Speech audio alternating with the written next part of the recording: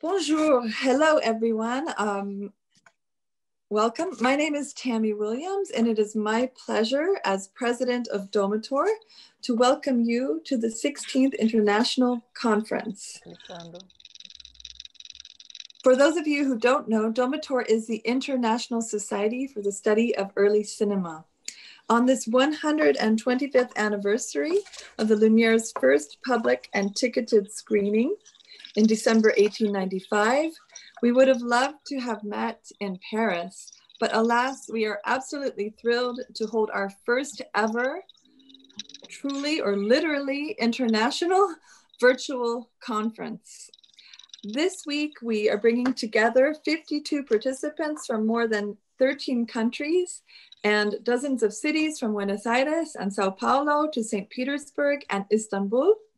And we are proud to host close to 200 registered guests for four days of live discussions across more than six time zones and all without jet lag.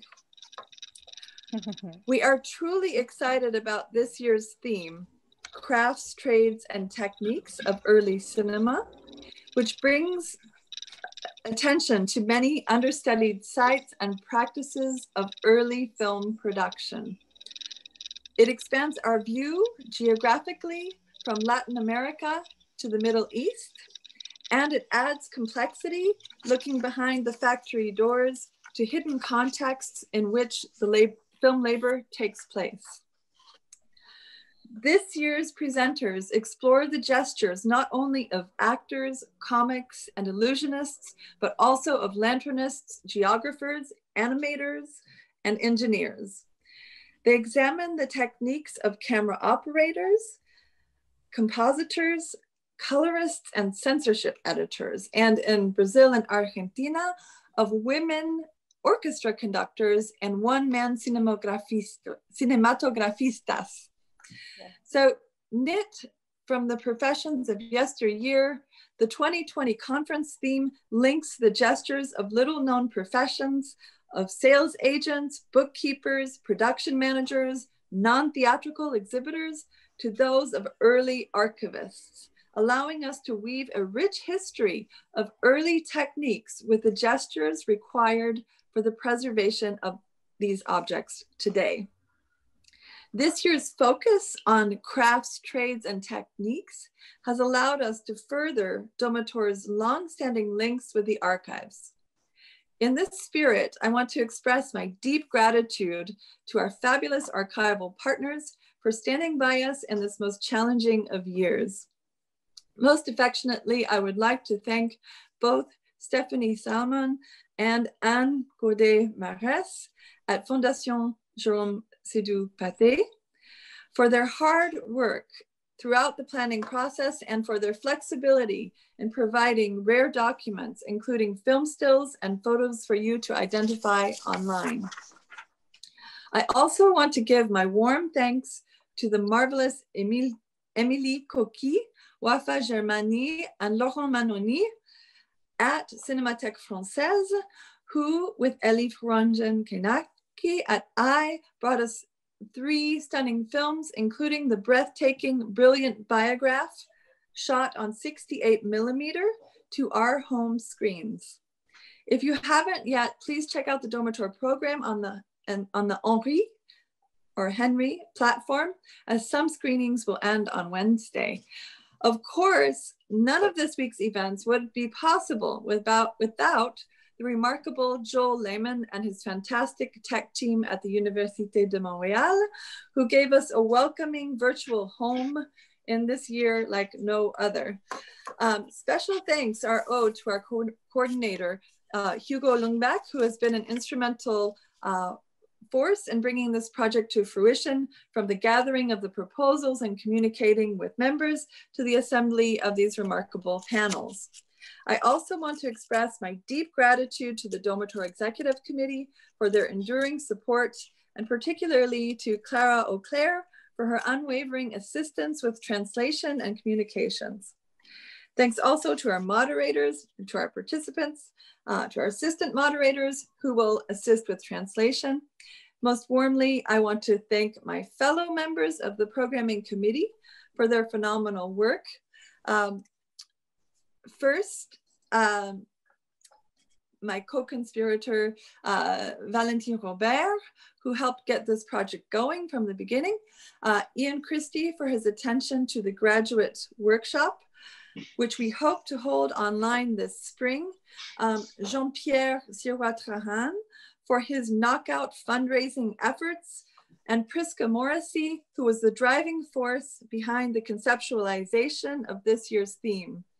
Last but not least, I want to express my deepest gratitude to Louis Pelletier, who has gone above and beyond, playing a crucial role in coordinating all aspects of Domitor's first virtual event on our fabulous conference website. So bravo, Louis. Uh, before I turn things over, I want to invite you all to attend our General Assembly and our Provenance book launch and our first virtual cocktail on Thursday. And now hmm. a few words from Jean-Pierre and Priska, who will launch our first panel. Thank you. Donc, euh, bonjour à toutes et à tous. Euh, un colloque comme celui-ci ne pourrait avoir lieu sans l'aide de nombreuses personnes et organismes. Nous aimerions remercier le Conseil de recherche en sciences humaines du Canada qui nous a fourni le financement nécessaire à sa tenue. Je souligne que leur ouverture et leur compréhension furent totales, qu'on a dû changer la date et mettre le colloque en ligne pour des raisons que l'on sait. À titre personnel, je voudrais remercier la Faculté des lettres et des sciences humaines de l'Université Laval, son doyen Guillaume Pinson et sa conseillère en développement de la recherche, Annie Quentin. Leur aide fut précieuse pour la soumission de la demande de subvention. L'Université Laval a eu comme partenaire institutionnel l'Université de Montréal, l'Université de Rennes 2 Haute-Bretagne et son unité de recherche arts pratiques et poétiques, ainsi que l'University of Wisconsin-Milwaukee, euh, qu'ils en soient ici euh, remerciés. Ce colloque en ligne n'aurait pas pu se monter sans l'aide de Technise et de son équipe de choc dirigée par Louis Pelletier, qui a conçu le site du colloque en quatrième vitesse. Je vais les, nommer Joël Limon, Lucas Hornung et Anne Lévesque, aidés par Nadir Djebar et Guillaume Lavoie de l'Université Laval. Nous aurons l'occasion de les remercier à nouveau pour le travail qu'ils vont continuer d'abattre cette semaine. Euh, ils le méritent. Un merci spécial à André Gaudreau, directeur de Technèse, et à Santiago Hidalgo, le directeur du Lab Cinémédia de l'Université de Montréal, pour leur appui indéfectible dans cette aventure. Ce colloque prolonge l'ambitieuse histoire des techniques cinématographiques amorcées par Technèse, comme de l'ensemble des recherches sur le sujet à travers le monde. En témoignent les activités de recherche menées par nos deux institutions partenaires, et on est très, très fiers de les avoir dans le colloque, la Cinémathèque française et la, Fondation Pathé. Les différentes interventions ici démontrent à quel point métier, savoir-faire et technique doivent être pensés ensemble. Enfin, Demitar 2020 témoigne du fait que des partenaires internationaux dans plusieurs langues peuvent coopérer et créer un colloque, un colloque qui, nous l'espérons, sera un grand succès. Et donc, euh, bon colloque à toutes et à tous. Je cède la parole à Priska. Merci. Hello, everyone. I hope that you are doing well in this difficult time. Thank you for being here. I will make short in French and in English. bonjour à tous et à toutes. Euh, j'espère que vous allez tous bien en cette période difficile. Merci d'être là. Je ferai court et dans les deux langues domitoriennes. Je me joins évidemment aux remerciements de Tammy et de Jean-Pierre. Merci aussi aux participants qui ont accepté de faire leurs interventions en dépit du contexte. Merci au public qui participera aux sessions en direct. Et enfin, merci à tout le comité de direction du colloque, à Tammy, euh, Jean-Pierre, Louis, Valentine, Yann, euh, Dimitrios, et bien sûr, merci à l'équipe technique de Montréal. I join in all the thanks of Tammy and Jean-Pierre. I would like to thank the participants who accepted to make their communication in spite of the context. Thanks to the public who will take part in the live sessions. And thanks again to the committee, the, direction, the committee of direction of the, Congress and uh, everyone and the Montreal team in the various and all exciting communications, I was struck by several things that I will just sketch as an introduction. Dans les différentes et toutes passionnantes, bien sûr, communications, j'ai été frappée par plusieurs choses que je me contenterai d'esquisser en guise d'introduction. L'importance des modèles préexistants, art de la scène, photographie fixe, art graphique, etc. pour penser l'histoire des techniques et des métiers en cette période si cruciale d'invention, d'expérimentation et d'institutionnalisation. Ces modèles ont pu être abordés sous l'angle de la continuité, de l'adaptation, des écarts ou des ruptures, mais chaque fois incarnent des matrices ou des points de repère indispensables. One, the importance of pre-existing models, performing arts, still photography, graphic arts, etc., in thinking about the history of techniques and trades during that crucial period of invention, experimentation, and institutionalization. These models could be approached from the point of view of continuity, adaptation, deviation, or breaks, but embody essential reference points. Deux, l'importance de faire dialoguer dans ces histoires le singulier et le collectif. Ça permet d'interroger la notion de représentativité, de mettre au jour des réalités plurielles et complexes derrière un métier. Les communications démontrent la variété des trajectoires professionnelles, les possibilités offertes en matière de mobilité professionnelle, l'importance qu'il y a à interroger finement à travers les documents les tâches concrètes et la division du travail dans chaque contexte particulier. Two, the importance of having a dialogue between the most singular and the collective. It allows the question to question the notion of representativeness. It highlights a complex and plural reality behind one trade or profession. The communications demonstrate the variety of uh, the professional trajectories, the possibilities offered in terms of professional mobility.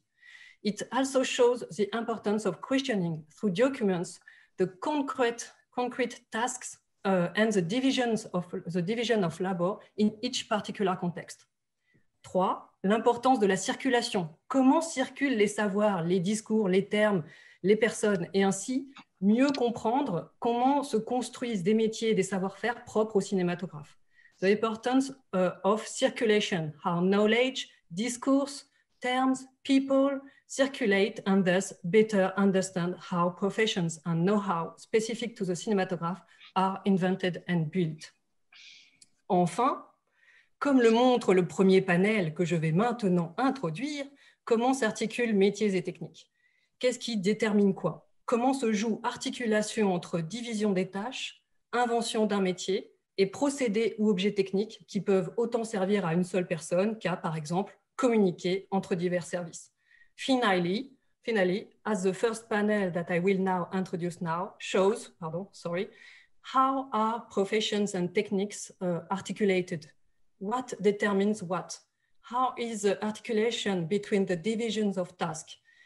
The invention of a profession and process and technical objects that can be used for one person or, for example, to communicate between various departments.